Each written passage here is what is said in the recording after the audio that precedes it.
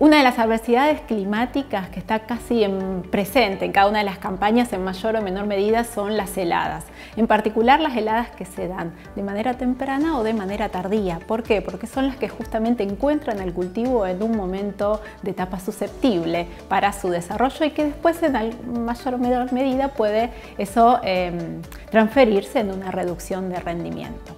En particular este mes de septiembre se calcularon heladas agrometeorológicas, que son aquellas en las cuales la temperatura está por debajo de los 3 grados en un metro 50, en promedio entre 10 y 15 días con heladas. En algunos casos estuvieron días seguidos.